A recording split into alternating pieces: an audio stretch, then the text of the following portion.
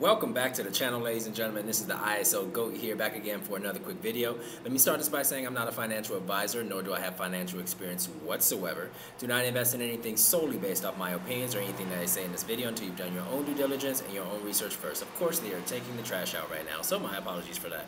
Never throw more money than you're willing to lose, and also make sure you have a firm understanding of crypto before throwing in any kind of money. So shout out to y'all. Happy Monday. Um, got a couple tweets, a couple articles I want to talk to y'all about, and then uh, there's a question as well at the end uh, that someone addressed as well. Uh, shout out to XRP Uh, it looks like there's a chart that shows fundamental payment system projects in 2023. Ooh la la. All right, so uh, with the chart, it, all this is posted on my page, just as I always say, uh, just so that you're aware. So use your own discernment, use your own interpretation. Um, I think this is pretty much verbatim, but you know, um, let me start with this. Key organization Swift. Uh, it's basically a diagram that shows uh, delivery date, region focus, and then payment system changes that are coming uh, to these different systems, okay? Um, so for Swift, March 2023, migrating to ISO 20022 standard, cross-border payments and reporting, which will affect financial institutions using Swift. European Commission, March 2023, delivering a cross-border payments pilot for the European Commission's EU Digital Identif Identity Wallet. My apologies. Um, I do not recognize that symbol. Uh, this is Q1 2023, launching an instant payment platform to facilitate financial transactions in the UAE. My apologies, I should have recognized the flag. Japan Gov. Uh, this is April 2023, allowing companies to pay salaries digitally through money transfer providers, not crypto, just to elaborate. Um, next one is the United States, it looks like uh, Federal Reserve, uh, rolling out the FedNow service, which will enable real-time payments in the United States. That's one I care about. I'm in the United States. Anyways, continuing. Uh, European Central Bank, autumn 2023, finalizing the design of a digital euro. Bank of Indonesia, 2023 TBC, connecting cross-border payments system with five other ASEAN countries. It's a global thing, people. This is a global thing. This is not just one nation. This is not just the United States, not just Singapore, not just, you know, it, it's a global thing, okay? And hopefully that's evident at this point. If not, then uh, I don't know what to tell you. But uh, let's see here. The Clearinghouse, EBA Clearing. Uh, this is 2023 TBC, launching a real-time cross-border payment link between the U.S. and Europe. Also, those economies are pretty much tied into one another, just something else to keep in mind. Uh, next thing, shout out to Michael Branch. Boom shakalaka. That's what it says. Ripple's ODL represents 90% of the $6 trillion FX market daily. Ripple's top executive. Very interesting article. Like I said, it's posted on my page if you want to look through it. It's not very long of an article, so you know it's very easy to read it as well. Next thing, shout out to Blood of Crypto. The US government finally cracking down on crypto fraud only means one thing. Crypto regulations are finally on the horizon. Clarity will prove who the real winners of crypto are. FTX was the regulation catalyst. Regulations are going to be key in regards to this new world we are going into. They keep kicking the can down the road, and eventually the road is going to run out, okay? Nobody knows when it's going to happen, you know, whether there's going to be a Black Swan event involved in it, who knows, okay? But it is coming. Apparently, it's in the works, supposedly, you know. Like I said, we elect these officials. They're taking 10 years. You know, we put these people in office, so just something to keep in mind. Uh, next thing, I'm actually talking about that article, so disregard that. Um, this is from a uh, what was it? A Korean bank, if I'm not mistaken. It's it's posted on my page. Uh, Nurturing blockchain in Korea. I'm just going to read an excerpt from it. In terms of the lines of business that were being pursued by these institutions, there was a noticeable concentration towards payments. Ooh. 80%, and to a lesser extent, capital markets, which was 20%. In most cases, only one line of business is being pursued in a pilot project, while in all cases, respondents indicated they would consider using digital assets for payments. Whew, that should be throwing some red flags off right now. The article continues. When further probed as to which particular digital asset would be adopted, 20% indicated XRP, while the rest indicated unspecified digital assets other than Ether and Bitcoin. The feature of digital assets that was identified as being most beneficial is reliability, and rated second was competitive foreign exchange rates. Finally, on the subject of the preferred type of digital asset, CBDCs were the most popular, 90%, followed by non bank stablecoins, 10%. Just an interesting article. You know, we've already talked about, you know, what coins will be deemed stable coins, at least according to the World Bank and other institutions as well. These are just my thoughts, along with their thoughts apparently too. So, you know, just something to keep in mind. Just wanted to give you guys that article. You can look it up, go through it. It's a little bit longer if I remember correctly. So, just as a heads up. Next thing, uh, this is another article. Uh, talks about emerging regulatory, law enforcement, and consumer protection challenges in regards to these digital currencies that are coming. Um, I'm just going to read an excerpt. One of the most prominent examples is XRP, which is used with a decentralized payment system called Ripple. Ripple allows users to make peer-to-peer transfers in any, any, any currency. A key function of XRP is to facilitate the conversion from one currency to another. Quote unquote, bridge currency. The article continues. For example, if a direct conversion between Mexican pesos and Thai baht is not available, the pesos can be exchanged for XRP, and then the XRP for baht. As of March 31st, 2014, the total value of XRP was 878 million. We don't really care about that aspect, but just a general caveat in regards to how XRP works. Uh, this is probably redundant at this point because you've probably seen this in plenty of articles. I know I have myself. Just wanted to bring that to you guys. Uh, next thing, shout out to PMA hash, uh, hashtag 74.5K underscore JD. Um, so this basically talks about the patent that David Schwartz has. This is what's key, I think, in this new world that we're going into. Um, and this was well before 2012. Um, so there's a picture of it. You can look at it. There's a link posting it as well. Um, basically, this patent from 1988 has been in the pipeline for a very long time. Um, and David also worked for a, I'm not going to mention a three-letter agency, so that way I get banned and was a developer for Bitcoin. XRP was always the one, people just don't realize for how long this plan has been in place, and I sincerely agree with your sentiment.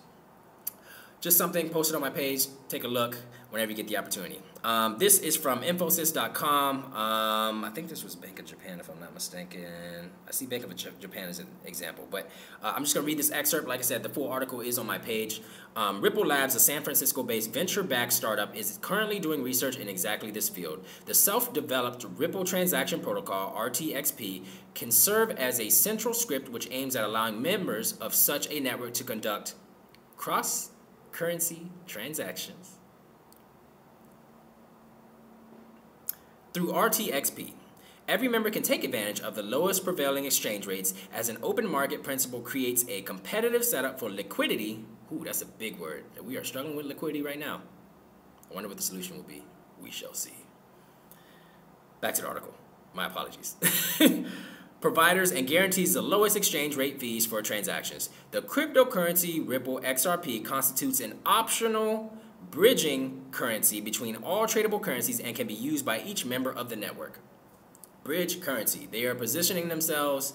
I think they're doing pretty great. Just my opinion. Like I said, I'm just a cheerleader on the side, however you want to look at it. But yeah, just something to keep in mind. Um, next thing, oh, I've already talked about that. Uh, this is an article uh, from the Mon, or I'm sorry, Monetary Authority of Singapore. Uh, it's Project Ubin. Gives like a brief breakdown. If you want to read through the article, it's posted on my page. But Project Ubin, central bank digital money using distributed ledger technology, what it is. Pretty much gives you a general gist on what the article is about. Take a couple minutes, look at it. You know, whenever you get a little bit of free time. Um, next thing, I'm gonna skip that for now. Uh, this is an excerpt. What was this from? Give me one second if it'll load. It's not loading for me. I'm just going to read the excerpt. It's on my page. You'll know exactly what I'm talking about. It says Introduction to Ripple at the top. Uh, Ripple Written Evidence CDC 0034 Central Bank Digital Currencies Inquiry. Um, so there's just an excerpt I just want to take out of this. Um, here we go. Using blockchain technology, Ripple allows financial institutions to process payments instantly, reliably, cost effectively, and with end to end visibility anywhere in the world. That is going to be very important in this new world we're going into. The article continues.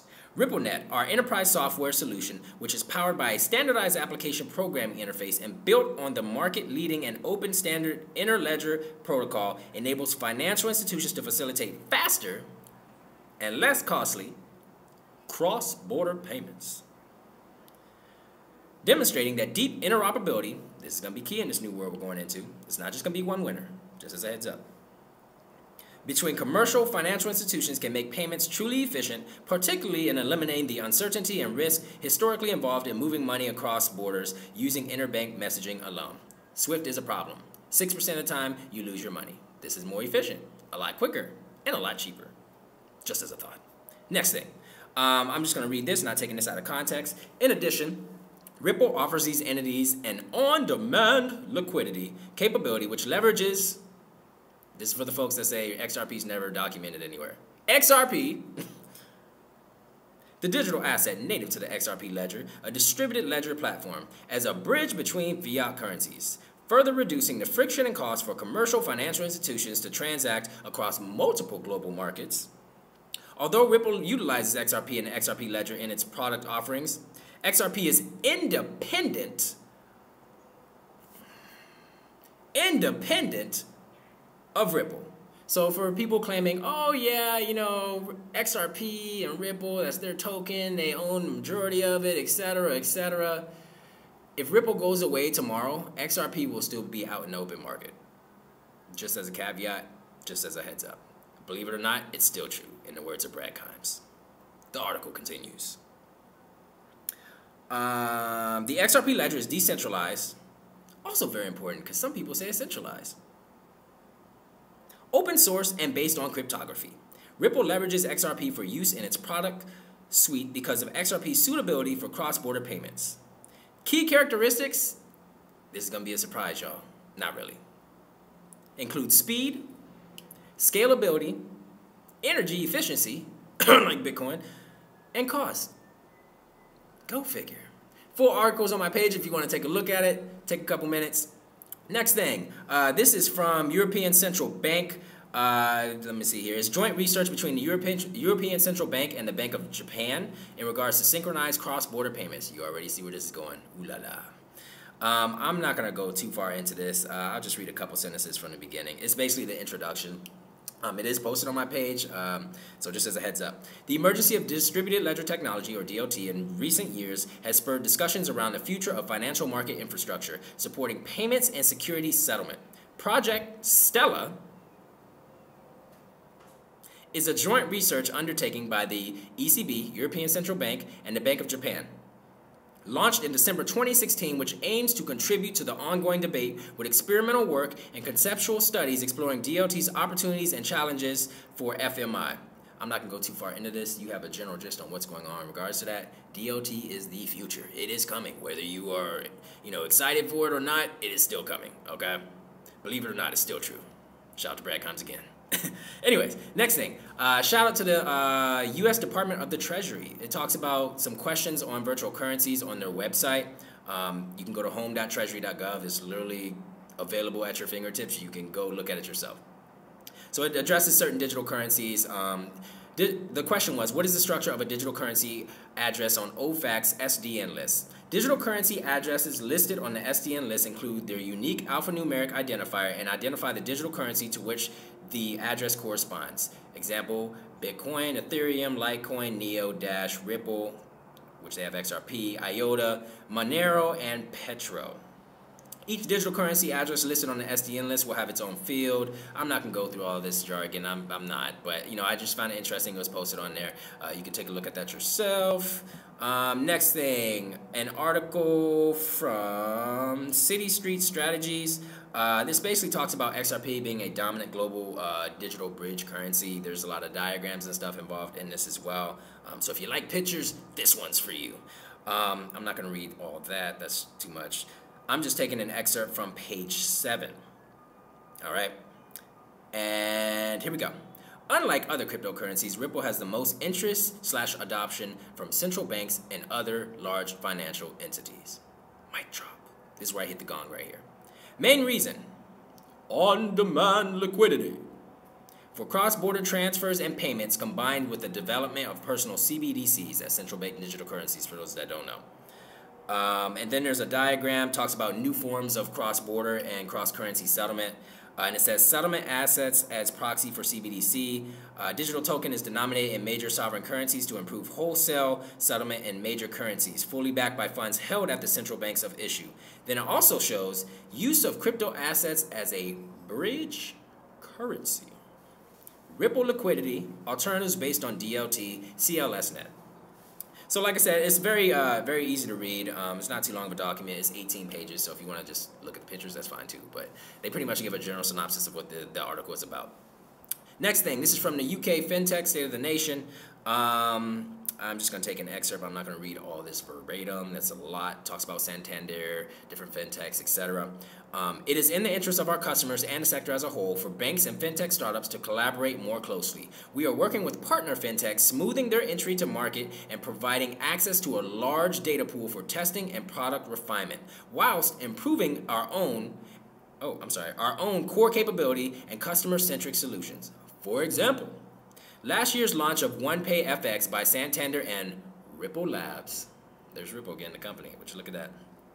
Transform ease of international payments for our customers through low cost, same day, cross border transfers, and peer to peer payments. Kudos to Ripple.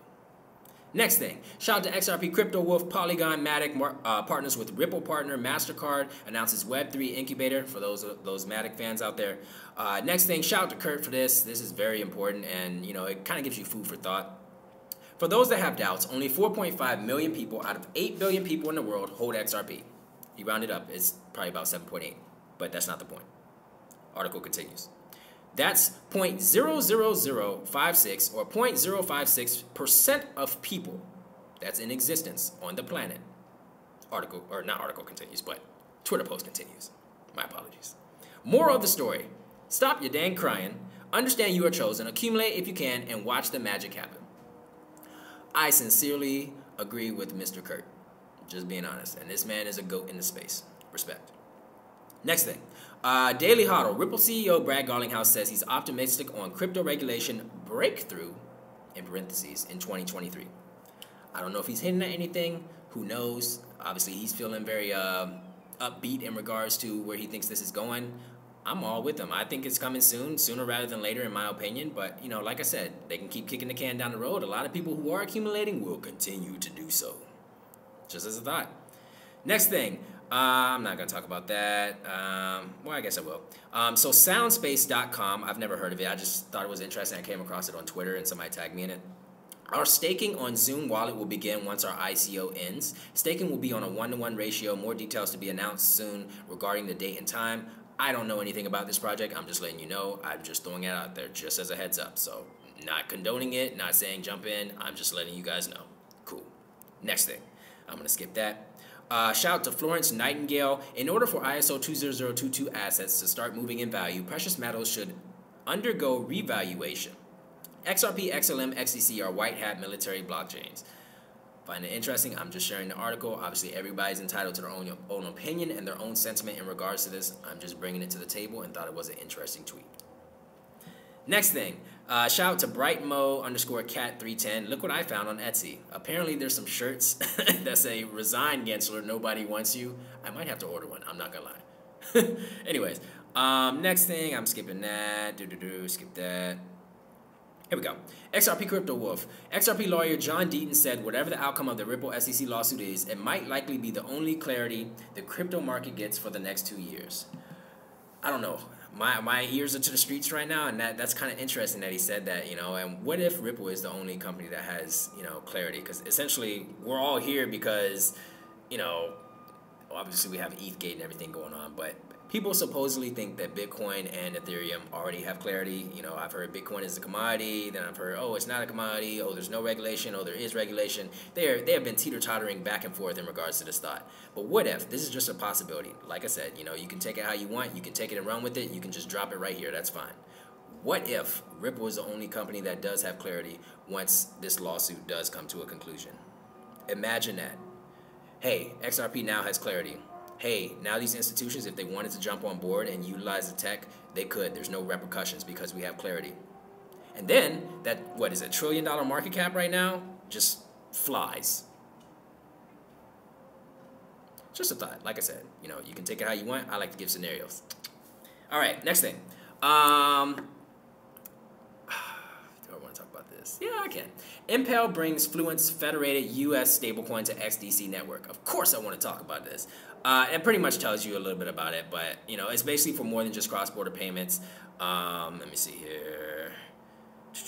They have a strategic partnership that will deliver a variety of innovative software solutions to the XDC network's ecosystem by allowing tr traditional banks and financial institutions to. You'll find out next. Just grab the article. um, let me see here. I'm gonna skip that. Gonna skip that. Um, Argentina and China are to formalize a currency swap deal, according to XRP Crypto Quebec, 78K. That's very interesting. I mean, BRICS nations are increasing by the day, so just something to keep in mind. Um, and a lot of people aren't looking out for that. But like I said, this is just my thought.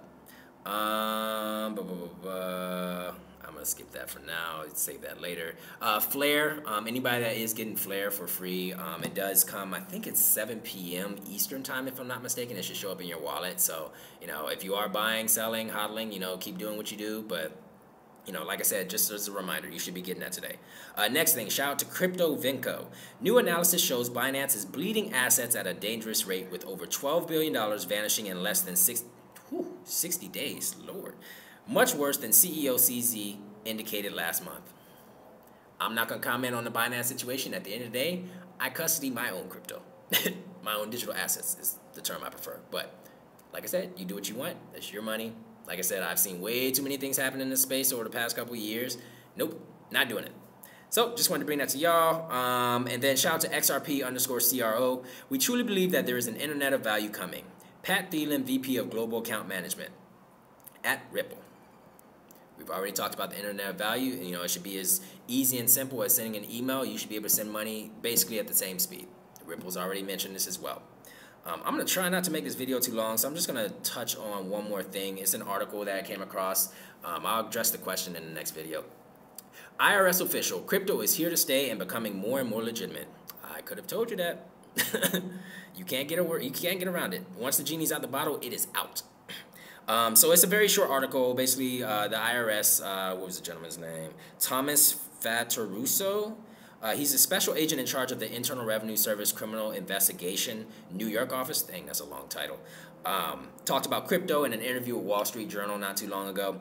Um, so he basically believes crypto. This is quote. I won't say basically. Crypto is cryptocurrency is here to stay. As far as I'm concerned, it isn't going anywhere anytime soon, and it's becoming more legitimate. As the years roll on, it becomes more sophisticated. Um, so it basically just uh, details his thoughts in regards to that. Um, then it talks about how they want to uh, partner with different crypto firms.